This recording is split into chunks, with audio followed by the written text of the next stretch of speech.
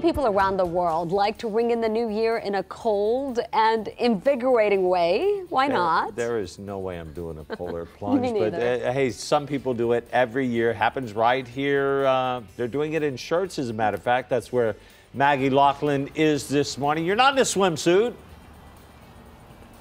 Not yet, that is. You'll have to stick around. Barry, I'd like to see you do the polar plunge this morning.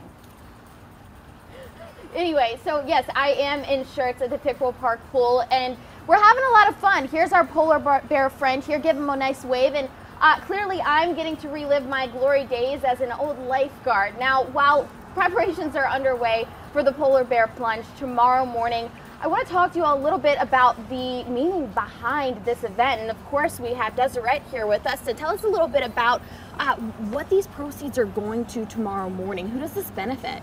Sure. The proceeds benefit our community. 100% all the proceeds go back to providing our youth swim lessons, uh, after school care, sports, or families the opportunity to come to a gym and work out. Okay, and so uh, maybe someone who isn't able to pay for this themselves, this gives an opportunity. Is that right? Yes, it does. It actually gives them an opportunity to come into the YMCA and fill out an application for our scholarship program, and that will benefit them just not for today, but for the rest of their life to instill those principles. Absolutely. I want to know what was it like last year? Because it's a little cold, but tomorrow, I mean, we'll be in the 60s.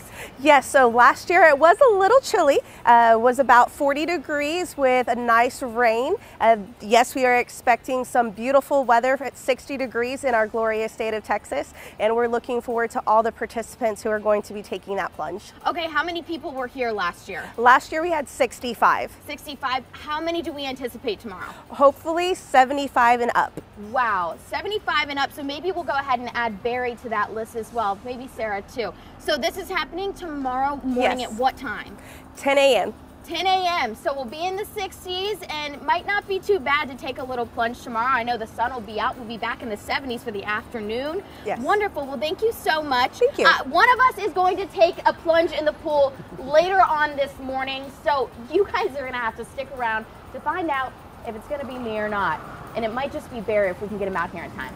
I Come like, on, Barry. I like how when Maggie earlier said, um, "Yeah, I'd like to see Barry do it." It was like crickets, like I, uh, you know, I, didn't, I didn't hear her say it. I, I was going to tell her, you know, Maggie, if you'll jump in, Sarah will. Oh yeah. You know what? I'll tell you this. If I'm going to choose a time to do it right now, while the weather is actually not so polar, Right, yeah. this is the time This good I would time. brave it. Yeah.